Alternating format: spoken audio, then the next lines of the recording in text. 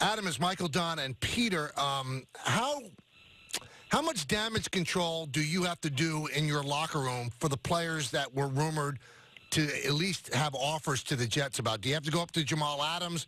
Do you have to talk to Robbie Anderson and say, "Listen, you know, you're on our team. You got to, you got to, you got to be great." Uh, I think every guy's different.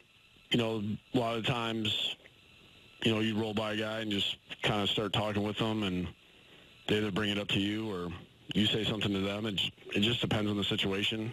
You know, Robbie obviously was the, the one that his name was kind of getting floated out there probably earlier along with Leonard. So, you know, I had a couple of conversations with Robbie and really it's just all about staying focused on, you know, trying to do his job, playing well, and getting ready for the, the last game.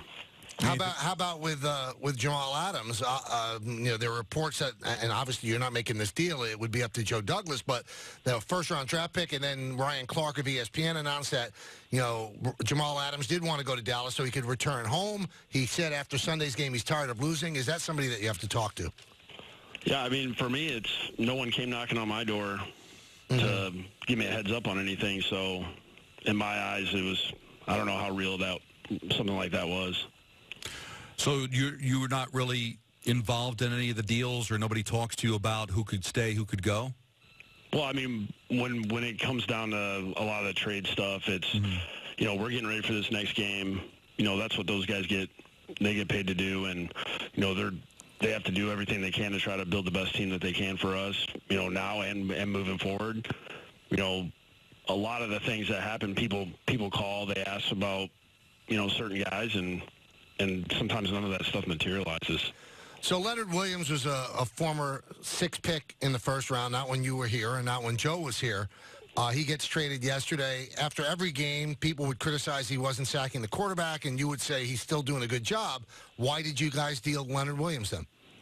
Yeah, I mean that's just that's just kind of one of the decisions that was made, and an opportunity came up, you know, for uh, you know good picks, and you know it gives him a great opportunity moving forward, and he did everything we asked him to do. He did a great job here, prepared every week. You know, that's just that's just kind of a part of the business. All right, everything's clicking first half of the Cowboy game. Uh, your quarterback admitted to us that he, a couple of times that you guys left points on the table in the second half against Dallas, but you won the game and the feeling was good. What's happened since that it just has not clicked on either side of the ball, but more specifically offensively with your quarterback? Yeah, I think the New England game is is a hard one to really really gauge. We we screwed it up so early that it got out of hand and really took us away from what what we wanted to do. And the last game we we just didn't have enough good drives. You know, we we we hurt ourselves. We had drops. You know, we had penalties. We put ourselves in the second and long. You know, we just we didn't take advantage of anything that any of the opportunities we had and, and a couple of those three and outs. You know, the two drives that we did have, they they were good. It was you know we we dug ourselves out of a hole one time and we had positive plays on almost every play. The the second touchdown drive. Let, let me ask you about Le'Veon Bell. He had nine carries. That's the, the second fewest he's had in the last five years. Why was he used so infrequently? Yeah, I mean that's not intentional. I mean, the, you know, part of the problem is Jacksonville's run defense. You know, I mean, coming off a game where they played Cincinnati, they had 33 yards rushing against them. You know, our longest run outside of a uh, reverse was five yards. You know, we weren't really getting guys covered up. You know, we had too many run throughs. Too many guys penetrating. He didn't really have any room to run. We tried to get him the ball in the passing game you know, a couple times we we missed them. You know, we have a drop here. You know, a couple times he got skipped in the progression, which you know we kind of went back and corrected. There there probably should have been a you know quite a few more touches there for him. We did prolong some drives early in the game where. You know, that's where he makes some of his money where we get first down, second down, first down. He's involved in a lot of that when we had a couple of those three and outs where we ended up second and 20. You know, it just, that's, that's, that crushes us, you know, and we, it, I mean, every game is is solely based around him uh, for the most part, and when it gets tough getting him the ball, that's that's that's a problem for our, our whole offense. All right, couple of things with the protection. He, he was sacked eight times in the game against Jacksonville. Uh, first part of the question, how much of that is on the line and how much of that is on your quarterback? Yeah, I mean it's it's all of us. You know, I mean, I know everybody wants to. It's easier to just say, "Hey, it's it's this." You know, it's the line, it's the quarterback, it's you know the running back, it's play calling. It's it's really we all took turns, and you know there's play calls I wish I could have back. There's there's times I know Sam wishes he would have got rid of the ball, went to a different guy, got you know you know, tried not to, to, to be greedy down the field. There were some times where we, we didn't do a good job of using our help and protection. There's times where we flat out just got beat man to man, you know, and it's a shame because, you know, we got receivers open, you know, and we we have plays there to be made. We just we're just not able to get the ball off, and you know there's a lot of things that we can clean up, and that's why we're we're really focused on improving this week, especially just worry about ourselves. We we got to stop you know, worrying about what's going on on the other side of the ball. Now, the other part of it, from the offensive line standpoint, what can you do to get more help in the blocks? And, and can you do that and yet still have enough personnel to go downfield to try to make plays happen? Yeah, I mean, it's it's really it's really kind of opposite of what you would think. It seems like the more guys that we actually have protecting, the, the worse our protection is.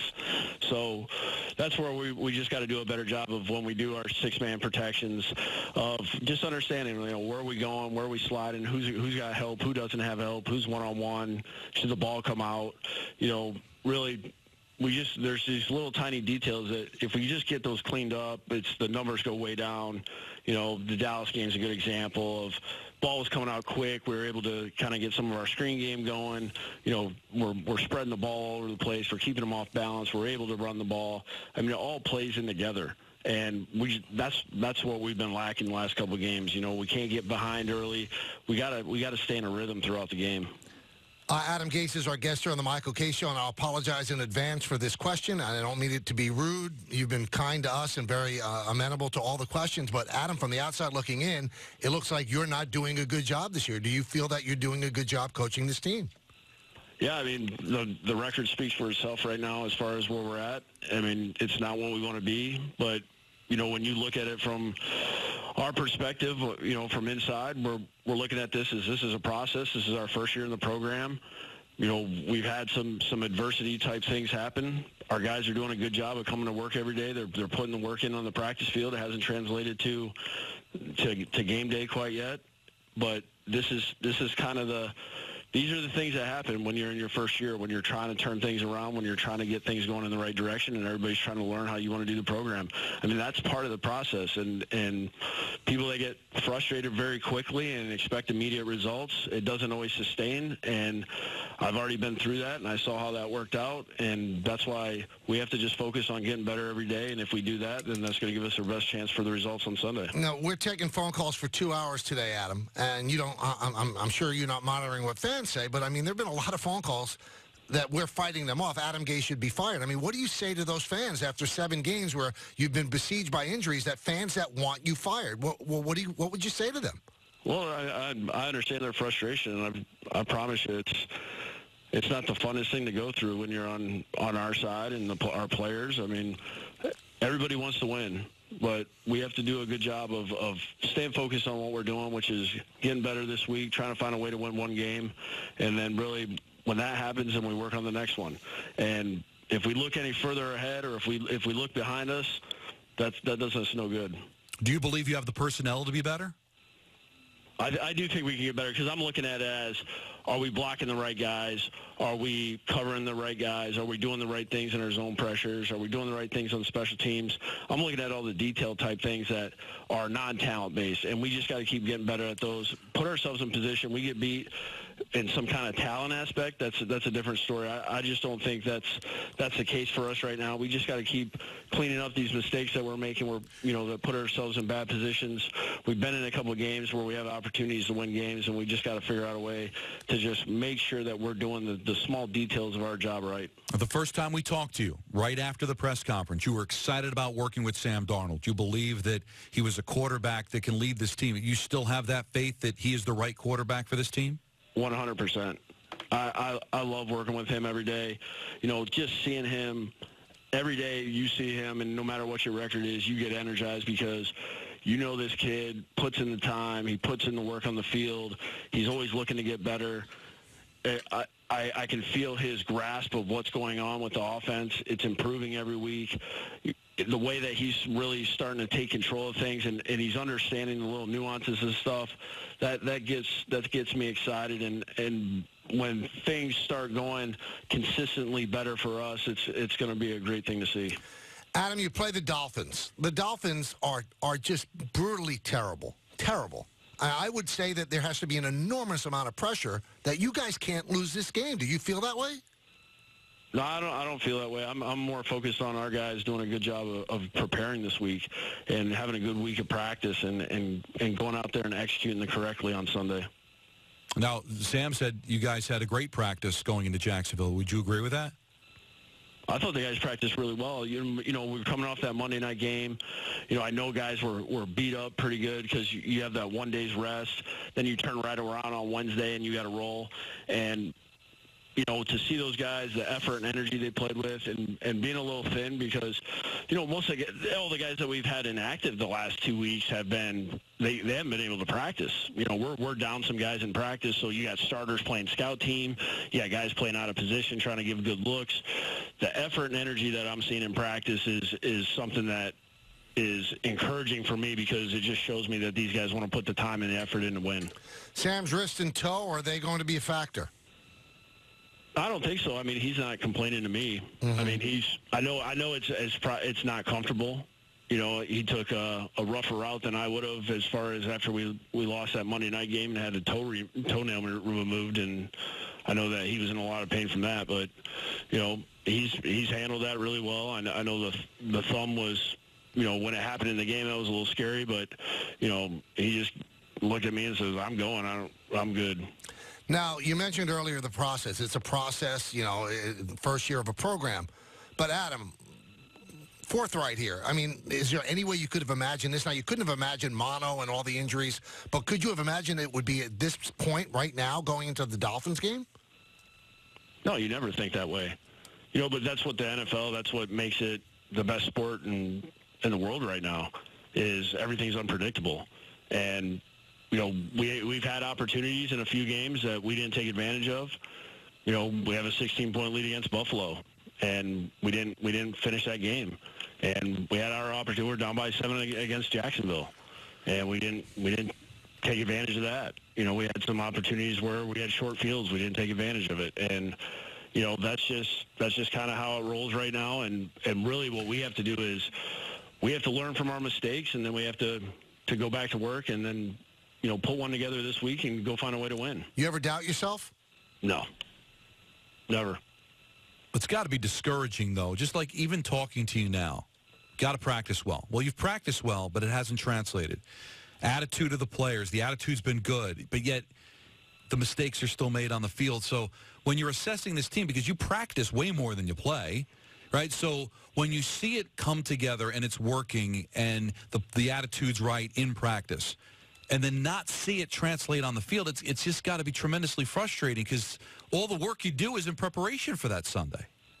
Yeah, and that's why, I mean, you keep hammering at it because you know it's it's so close to, to clicking in so many different areas. That's what that's what keeps coming, making you come back because you, you can you can see it on the practice field, and you know if we keep just keep improving and we get to the point in a game where where things click. Because I've seen this happen. I've seen it to where it was 180 yards of offense one week, and the next thing I know it's 480 five weeks in a row.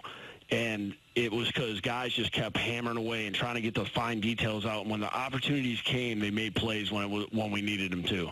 And we have the guys to be able to do that, especially offensively. I know we got plenty of players on defense that have that have made plays through their career and, and, and still are making plays for us. And it's just we just got to get three phases playing together, complementary football to where these guys put it together for four quarters, and next thing I know, you know, you get a win at the end of the end of the day, and then another one, and then another one, and then you get on a little bit of a run. Le'Veon Bell's name was out there before the trade deadline. That you know the Jets were listening. Were you guys looking to trade Le'Veon Bell? I, when I heard that, that was that was news to me. So, I mean, that's somebody's somebody's talking about that that I don't know. So Joe Douglas would come up and tell you, Adam, I'm listening on Le'Veon Bell, he didn't do that. Yeah, I mean, he he'd tell me if something was real. Uh huh.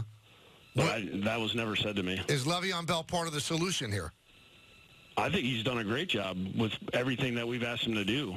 I mean, I know last week was not, it was no fun for anybody. You know, we just found no consistency.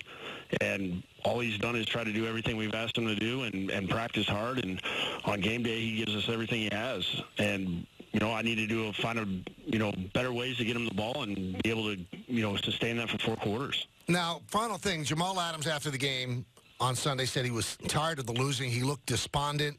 Uh, then, you know, there was a report earlier today that he would would mind going to Dallas to go back home. How how do you view him in, in terms of a leader? Is he is he a leader on your team?